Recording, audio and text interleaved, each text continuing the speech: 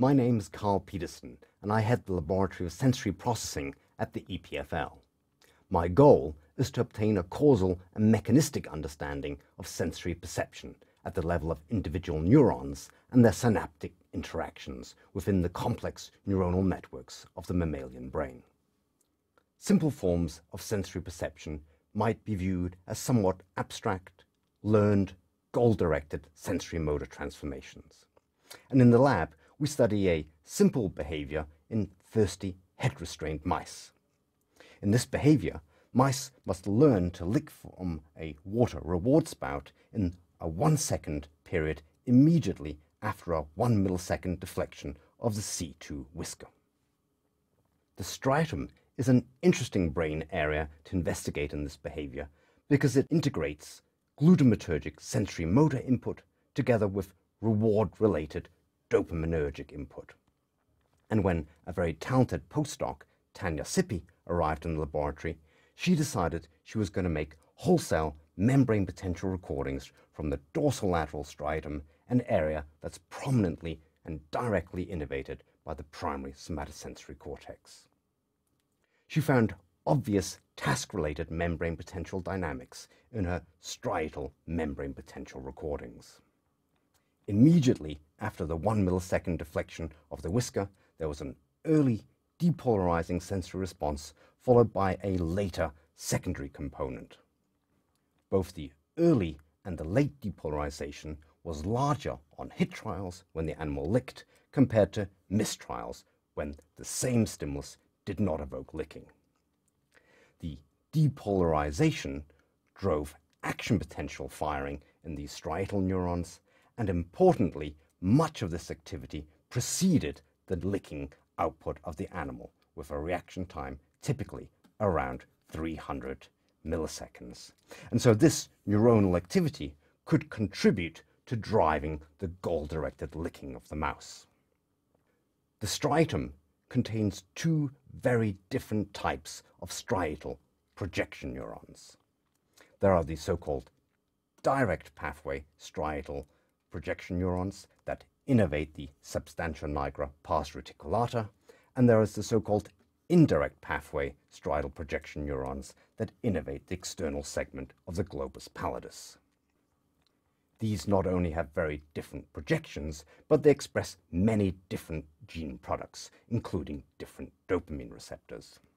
We can therefore use mouse genetics to label up these pathways, and here you see experimentally the axonal innervation of the striatonigral pathway and the innervation of the globus pallidus of the indirect pathway.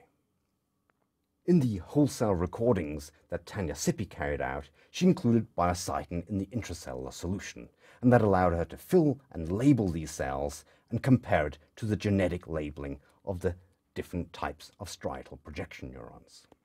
And when she compared the membrane potential dynamics of direct and indirect pathway neurons, she saw that there were obvious differences. The direct pathway neurons received an early sensory input that was substantially smaller in indirect pathway neurons.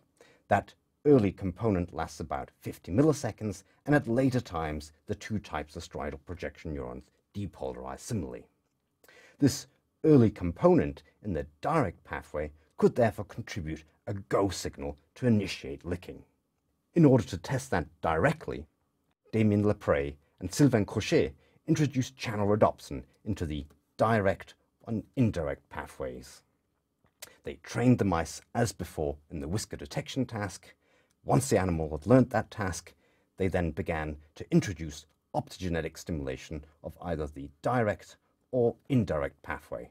And what they found was that optogenetic stimulation of direct pathway neurons drove licking, substituting for whisker stimulation, whereas optogenetic stimulation of the indirect pathway failed to substitute the excitation that we see in the direct pathway neurons is therefore sufficient to drive licking behavior and could contribute a go signal for task performance.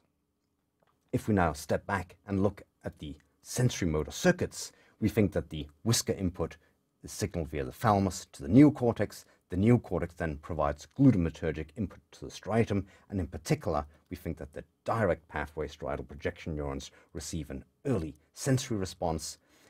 The output of the direct pathway is to inhibit substantia nigra pars reticulata, and so the brief excitation that we see here in the direct pathway inhibits substantia nigra neurons. These are tonically active GABAergic neurons that normally inhibit brainstem motor nuclei. They receive an inhibitory signal from the direct pathway, and that then gives rise to a go signal here at the output. There are also other more complex circuits that could contribute to late, long-lasting processing in the brain, and we're very intrigued about the role of dopaminergic input to the striatum that could be involved in learning, perhaps playing a role at governing synaptic plasticity at the corticostriatal synapse. And that's the subject for ongoing research in the laboratory.